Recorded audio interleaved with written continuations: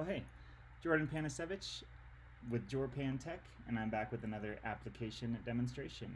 Uh, today we'll be looking into flashers, a fairly simple React application for flashcards. I'm a huge advocate of lifelong learning, which is part of why I got into coding, so I wanted to build an application that would help myself and others continue to study and learn. So you can see on the left side we've got our decks over here. We've got one deck already loaded up and I'm not sure if this is about math or magic. I don't know what hooligan made this but let's check it out here. And as we open up this deck we can see it is about math. I'm fairly confident I know the answer in this but just a quick sanity check. We can flip back and forth over here and I definitely did know that so I'm going to mark this as I know it which will prevent this card from being shown to us in the future.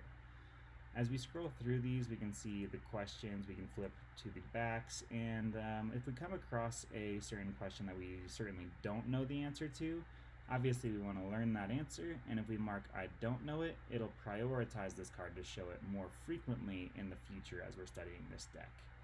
Uh, so let's actually go ahead and make a new deck over here. We just click the title area to name the deck, and we'll do uh, JavaScript array methods.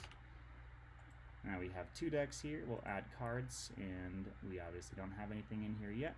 Uh, first thing, when we open up a new card, we'll have to edit it. So let's do add item to end of array, and that's going to be our dot push method. Uh, if you wanted to get Jeopardy style with it, you could switch these back and forth, but we'll just keep it normal for now. Save this. Now we have one card in our deck. Obviously we could add as many as we want, but let's just keep it there for now. And as you can see, we've still got our two decks. We'll open this one up, and again, we'll flip it back and forth. We can mark it as known or not.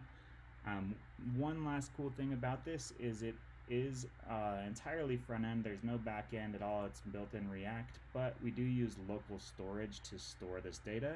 So even if you refresh or close the tab and reopen it, you'll still have all your cards and all your decks available to you. So uh, pretty handy uh, for a front-end application. I was excited about this, and yeah, I'll continue to use this myself to keep studying some things. I hope that you guys will find it handy as well.